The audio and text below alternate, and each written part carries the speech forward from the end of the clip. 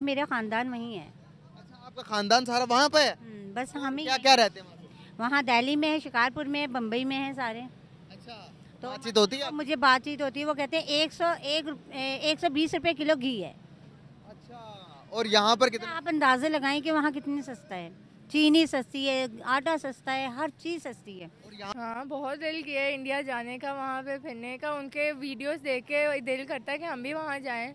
लेकिन ज़ाहिर है हमारी वहाँ पे वो क्रॉस ही नहीं करने देते हमें इसीलिए वहाँ ना वीज़ा स्टैम्प करते हैं। जज्बे से कुछ भी नहीं होता ठीक है ये सारी जो सी है ना सारी ये ये मेरे ख्याल से सारी जो सी ना सिर्फ़ ये बेकार बातें हैं जो ना एक आवाम को लॉलीपॉप दिया जाता है कि जी हम जज्बे से ये कर देंगे। ये बाबरी मस्जिद का जो है ना उन्होंने गुस्सा निकाला था जैम मंदिर को जब शहीद किया था। मुझे उस वक्त अच्छी तरह याद पड़ता है कि बाबरी मस्जिद का सानिया हुआ तो शीशी मंदिर शालमी चौंक वाला वो डैमेज किया गया।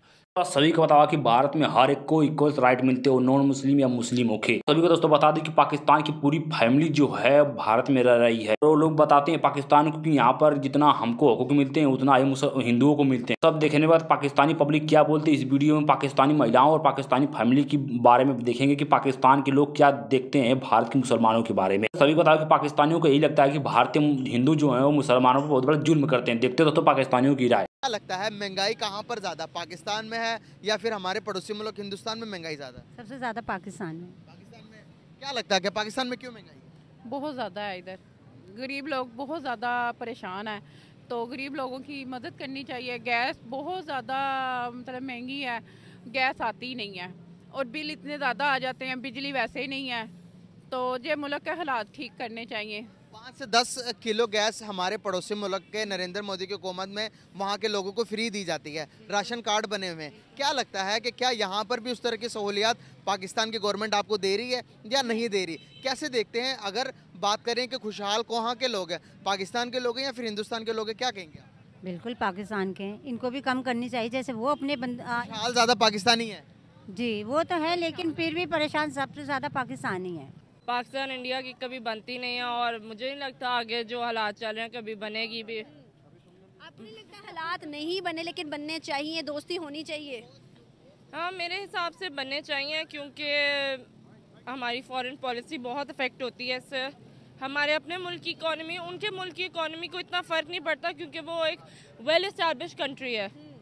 लेकिन हमारी कंट्री जो है वो जैसे आपके सामने इकोनॉमी भी डाउन है और अगर हम उन्हीं से ताल्लुक़ नहीं रखेंगे, वो एक पावरफुल कंट्री है, जैसे अमेरिका, रशिया, तकरीबन इंडिया भी उनके आसपास ही आती है। लेकिन पाकिस्तान एक थर्ड वर्ल्ड कंट्री है और इकोनॉमी भी डाउन है। हम उनसे बेहतर ताल्लुक़ करेंगे तो हमारी अपनी फॉरेन पॉलिसी बेहतर होगी। ये बाबरी मस्जिद का जो है ना उन्होंने गुस्सा निकाला था, जैम मंदिर को जब शहीद किया था। मुझे उस वक्त अच्छी तरह याद पड़ता है कि बाबरी मस्जिद का सानिया हुआ तो शीशी मंदिर अ, शालमी चौक वाला वो डैमेज किया गया ये जैम मंदिर शहीद किया गया तो हम अ, अ, मंदिर ਢਾ ਦੇ ਮਸਜਿਦ ਢਾ ਦੇ ਢਾ ਦੇ ਜੋ ਕੁਝ ਢਹਿੰਦਾ ਅ, ਭੁੱਲਿਆ ਕਿਸੇ ਦਾ ਦਿਲ ਨਾ ਢਾਵੀਂ क्योंकि मैं हम आपको कैसे पता क्योंकि मेरा खानदान वहीं है अच्छा आपका खानदान सारा वहाँ पे है हम्म, बस हम ही क्या क्या रहते हैं वहाँ पे? वहाँ दिल्ली में है शिकारपुर में है बम्बई में है सारे अच्छा तो बातचीत होती है मुझे बातचीत होती है वो कहते हैं एक सौ एक एक सौ बीस रुपये किलो घी है। अच्छा और यहाँ पर कितना आप अंदाजे लगाएँ कि वहाँ कितनी सस्ता है। चीनी सस्ती है आटा सस्ता है हर चीज़ सस्ती है। और यहाँ पर कितने का के जी मिल रहा घी? कुकिंग तो यहाँ छः सौ पाँच सौ। वहाँ पर कितना है किलो? बातचीत होती है? पैंतालीस। पैंतालीस का और यहाँ पे? यहाँ से तो बहुत ही चौदह रुपये दस किलो तो आटा चौदह सौ को मिलेगा आपको। बड़ा जो है वो यहाँ दो हज़ार का मिल रहा है बड़ा। तो मगर बहुत दो बहुत ज़्यादा। आसानी है वहाँ इंडिया में? बहुत वहाँ पर क्या उनके वहाँ पर क्यों सस्ती है? यहाँ पर भी तो होनी चाहिए।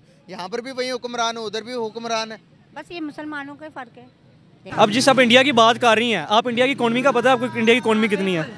ठीक है अब नंबर है बिल्कुल फिफ्थ नंबर इकोनॉमी है और हम कहाँ स्टैंड कर रहे हैं? तो आप कैसे डिजर्व करती हैं कि हमारे ऐसे मुल्क में हमारी जो उनसे, हमारा एक्टिविटी अच्छा हो। पहले यहाँ पे जो लोगों को भूखे लाले पड़े हैं, वो तो पूरे हों, ये बाकी चीज़ें बाद में हैं। ठीक है?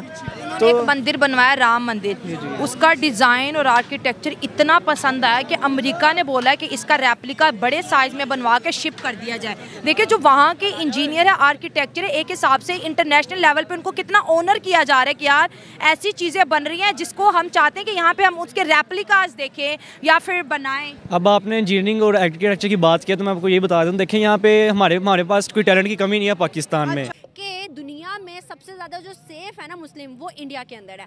इवन उन्होंने कहा है कि जो लग्जरी लाइफ इस्तेमाल कर रहे हैं लग्जरी लाइफ को वेल मतलब अपने आप को ग्रूम कर रहे हैं, वो इंडिया के अंदर ही मुसलमान कर रहे हैं। दुनिया में कोई मुसलमान ऐसे नहीं रह रहा जितना इंडिया में रह रहा है। आप मानती हैं? मैं इसलिए मानती हूँ कि पाकिस्तान के एक तो हालात ठीक नहीं है। इंडिया बहुत वेल इस्टेब्लिश कंट्री है और वो मुसलमानों को एज अ माइनॉरिटी नहीं देखते मेरे हिसाब से।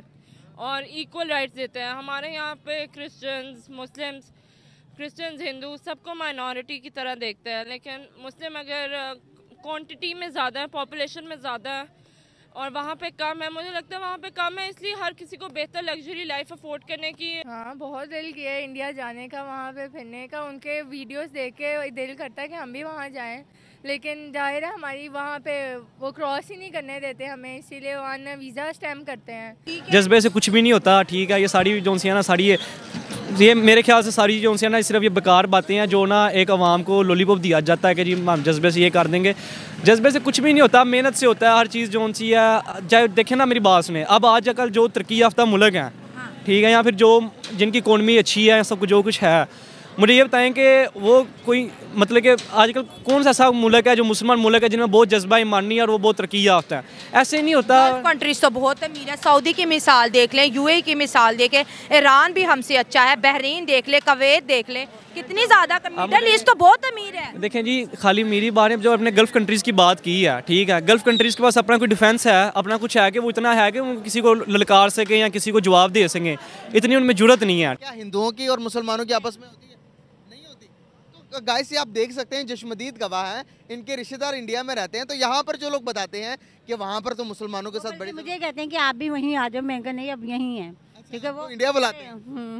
इंडिया को हर मुल्क सपोर्ट करता है हमें कोई सपोर्ट नहीं हमने आज तक आपने कभी सुना पाकिस्तान फ्रंट लाइन पे आया हो? क्यों नहीं सपोर्ट किया जाता हमें? हम नाइनटीन सिक्सटीज़ की बात करें दुबई हमारा था सऊदी हमारा था।